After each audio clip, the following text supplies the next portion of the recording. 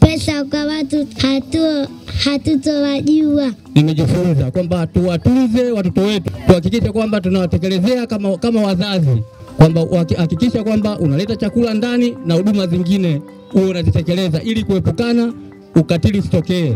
Hivi vitendo hapa Msufini vipo, sio Msufini tu, ni Mafia mzima. Watu wanatumia pesa zao kwa kuwarubuni watoto wadogo. Kwa hiyo hichi mlichokionyesha kipo.